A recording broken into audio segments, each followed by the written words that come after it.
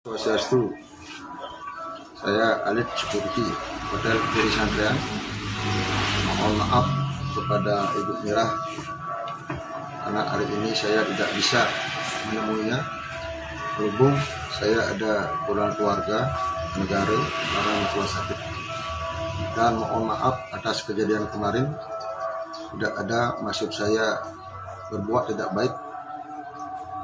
Saya cuma menjalankan tugas dan menertibkan pantai dan sekitarnya. Cuma itu yang bisa saya sampaikan. Sekali lagi saya mohon maaf. Om Santi Santi. Om. Om Swastiastu.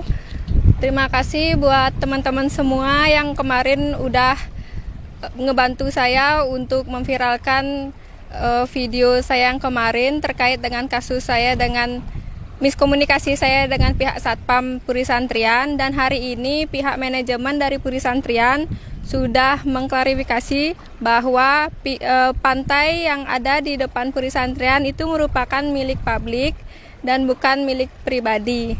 Jadi buat teman-teman yang pengen lancong ke depan Puri Santrian dipersilahkan dan itu pun berlaku di seluruh Bali. Jadi pantai itu milik publik.